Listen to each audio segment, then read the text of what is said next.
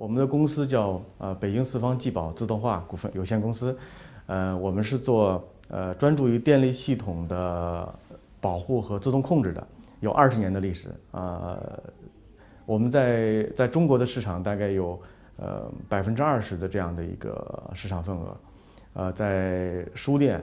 呃配电、还有发电以及工业里边呢，都有很多这样的这个经验。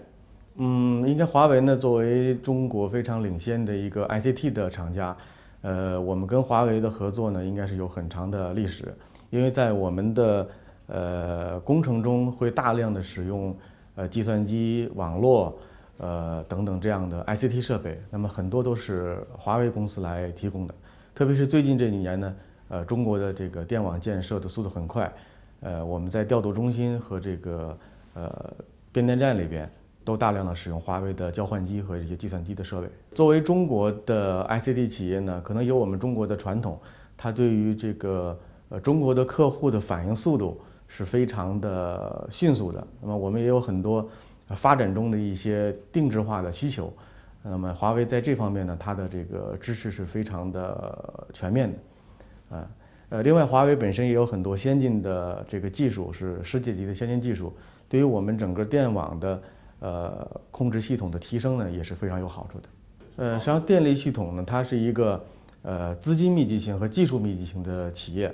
呃，在技术方面呢，实际上除了电力系统本身的一些这个专业发展以外呢，呃，ICT 技术的支撑是它的一个重要基础。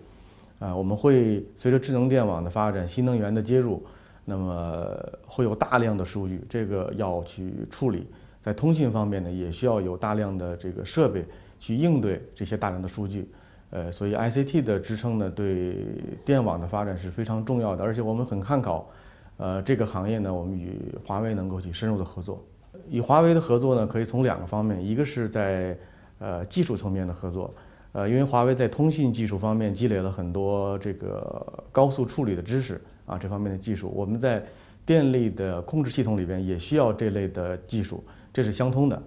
呃，另外呢，就是华为在呃这个全球市场的这个开发和国际化方面呢，是走在很多中国公司的前面的。啊，像我们这样的企业在开展国际化的时候呢，可以呃与华为去合作，啊，加速我们的国际化进程。